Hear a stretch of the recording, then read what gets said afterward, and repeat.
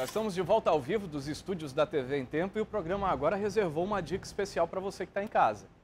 Eu tenho uma dica para você aí, olha só, uma dica especial para você que sempre assiste o Agora, que não perde um dia de programa da comunidade. Um recado da Unip para quem sonha em concluir um curso de nível superior, para quem sonha em concluir a sua graduação e melhorar de vida, ter uma profissão e ganhar mais dinheiro com o seu trabalho. Na Unip, você faz a sua graduação a partir de dois anos com profissionais qualificados, numa instituição que pertence a um grupo educacional presente em diversas cidades do Brasil. E o melhor, pagando mensalidades que cabem direitinho no seu bolso, a partir de 139 reais mensais. É isso mesmo. Isso que você ouviu. A partir de 139 reais mensais, você pode pagar o seu curso, o seu nível superior. É a melhor relação custo-benefício do mercado. As inscrições para o vestibular da Unip são gratuitas e podem ser feitas pelo site www.aquivocêpode.com.br, ligando para 0800 725 0045. Uma equipe especializada irá atendê-lo e tirar todas as suas dúvidas. Não desista dos seus projetos nem dos seus sonhos. Na Unip, você pode realizá-los. Faça Unip, aqui você pode. Amaral Augusto. Muito bom, Márcia Lasmar deixou aí a dica dela devidamente gravada e faz questão de me chamar. E tá toda animada Márcia Lasmar, né, diretor? Chove agora no Nossa Senhora das Graças. Carlinhos, vem comigo aqui, que nós vamos conhecer o Clécio Antônio Duarte, do Mauazinho, ganhador do Segredo do Cofre. Chega aqui, Clécio. Tudo bem, meu amigo? Tudo. Seja muito bem-vindo. Tudo. Como é que tá, Clécio? Rapaz, muita alegria. É? É. Me diga qual foi o segredo para você conseguir achar a combinação desse cofre. Rapaz, minha mulher tava anotando lá os números aí, ó. Quando eu cheguei assim, ela tava falando lá a senha lá e a mulher falou que era menos de dois. Aí eu fiquei. Aí um número que é. que ele não é, ele não é pai nem ímpar. Aí isso é zero. Meu companheiro, É então você foi só o locutor. É. Quem fez toda a conta, quem fez toda a estratégia foi sua esposa. Foi. Como é o nome dela? Rosivete. Rosivete, e ela É, tá aqui, né? tá, então sim. chame ela pra cá, Rosivete, chega aqui, Rosivete. Traga o neném também, porque tá todo mundo aqui no programa. Vai abrindo aí, Carlinhos, que é pra dar um espaço pra Rosivete. Rosivete tá com vergonha, chega aqui. Deixa disso, olha aí, o trovão, Rosivete, tá chovendo. Rosivete, foi você que fez toda a conta. Foi. Tudo certinho.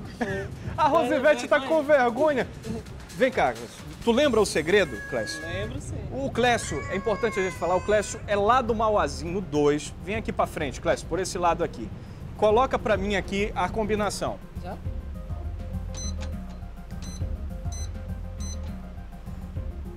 Aí a gente aperta aqui, olha, e abre, meu amigo. Não é meu não, é teu que tá aí dentro. Pode tirar. Gostou? Gostei muito. Obrigado pelo, pelo programa, ter conseguido aí acertar a senha do cofre. Eu já tentei algumas vezes, mas nunca consegui a ligação. Tá satisfeito agora? Satisfeito. Olha, é importante a gente falar que esse prêmio aqui que a gente está dando pro Clécio, para a esposa dele, para o filhinho, é um oferecimento da Bruno Celular, que é parceira do programa, que sempre está aqui com a gente, nos ajudando a presentear os telespectadores que não desistem. Eu acho que você não desistiu, né, Clécio? Não, não desisti. Continuo tentando, se sair outra vez, vou tentar de novo para conseguir. Assim. Muito bem. Parabéns a você, a sua esposa. Rosivete, Não tem que ter vergonha. Eu garanto que em casa ela não é assim, porque na hora que você ganhou, ela fez uma festa enorme. Não foi ela que Fez, ficou gritando? Fez, tava eu, minhas cunhadas, minhas filhas, todo mundo gritaram lá e foi a maior alegria. Vamos fazer o seguinte, Clécio, fica aqui comigo. Vamos chamar a Márcia Lasmar aqui na tela do programa da comunidade. A Márcia que está lá na Zona Leste. Márcia, eu tô aqui com o Clécio, com a Rosivete. O Clécio já pegou o celular dele aqui, mas está querendo falar com você. Amaral, eu disse pra ele pra ele trazer Rosivete. Só que eu não pude falar com a Rosivete pessoalmente. Rosivete, oi! Gente quer falar alguma coisa para Márcia Lasmar? Márcia Lasmar, Rosivete está envergonhada aqui na frente das câmeras. Olha, Rosivete, deixa de bestagem, hein? deixa de besteira. Sinta-se beijada, abraçada, boa sorte. E na próxima rodada de Segredo do Cofre, pode crer que a gente vai estar junto aí, viu? Muito bem, Márcia Lasmar, obrigado. Daqui a pouco eu volto a falar contigo, tá, Márcia? Tá bom, muito obrigada, Amaral.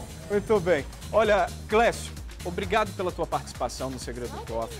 Continue participando, mobilizando todo mundo lá do Mauazinho 2. Você sabe que aqui você não liga só para o Segredo do Cofre, liga também para denunciar. Então, qualquer problema lá no bairro, na sua rua, ligue para a gente, porque nós vamos estar aqui à disposição. Tá ok, sim. Qualquer problema, eu vou ligar para cá. E leve um abraço muito especial tá. lá à comunidade. Um abraço para a turma do Mauazinho aí. Nós vamos destacar uma situação muito lamentável que há oito meses vem se arrastando na zona norte da capital. O Parque Santa Etelvina está praticamente ilhado. Isso porque a ponte que passa pelo Igarapé da Bolívia está no chão, está desabada e nada foi feito. Um absurdo sem tamanho que ainda não tem prazo para ser resolvido. Vamos acompanhar.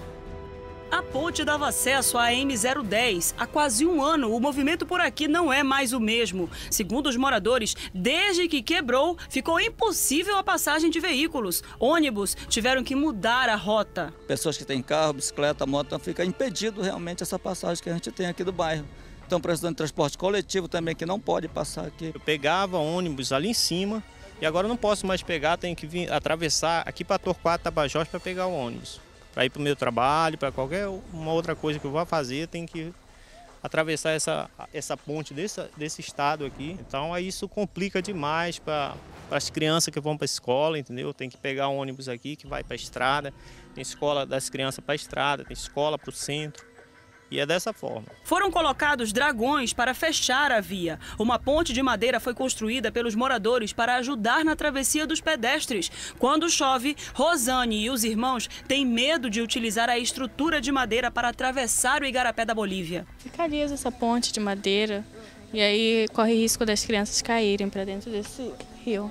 A ponte do Parque Santa Telvina, na Zona Norte, já foi alvo de reivindicações na Câmara Municipal de Manaus e também na Secretaria de Infraestrutura do município. Mas até agora, a única coisa que mudou foi o mato no asfalto, que está maior com o passar do tempo.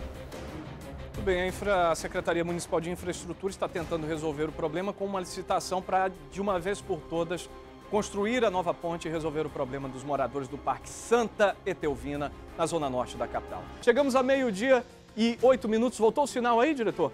Meio-dia e nove, vamos para o intervalo então? Rapidinho? Vamos fazer logo o intervalo? Já já a gente volta. Você que está em casa, não saia daí, porque este é o Agora, o programa da comunidade, a gente volta já já.